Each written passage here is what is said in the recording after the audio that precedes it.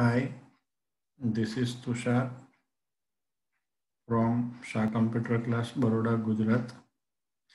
Appreciation to Ronit Joshi, who had achieved world record for cube. Okay. In August mid-month, Ronit organized webinar series of cube solving. After the completion of this series, my little child, whose name is Akshit Usarsa, may solve cube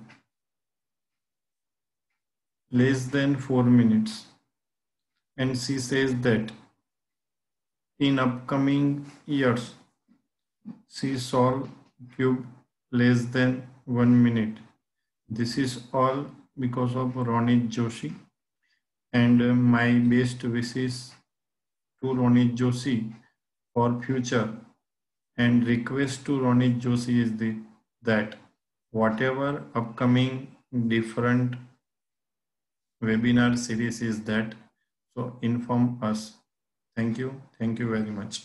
Bye